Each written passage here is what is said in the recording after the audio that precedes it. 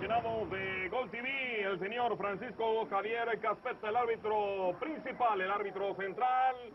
En estos precisos instantes hace sonar su carina. Señoras y señores, amigos aficionados que hacen del fútbol la pasión del hombre. Arranca el primer tiempo desde el estadio azulgrana enclavado en la Universidad Tecnológica de Nezahualcóyotl. Es la fecha número uno, el arranque de la temporada de clausura 2004 a través de Gol TV.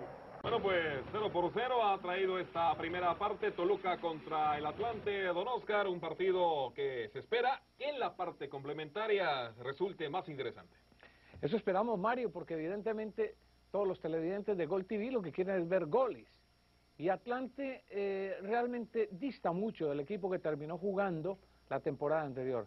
En la reanudación del partido, equivoca el servicio, pelota en la media cancha, trata de controlar, recuperación a cargo del equipo del Toluca, hay oportunidad, atención, metiendo el servicio, entrando al corredor del área, trata de acosar, allá queda derribado, penal.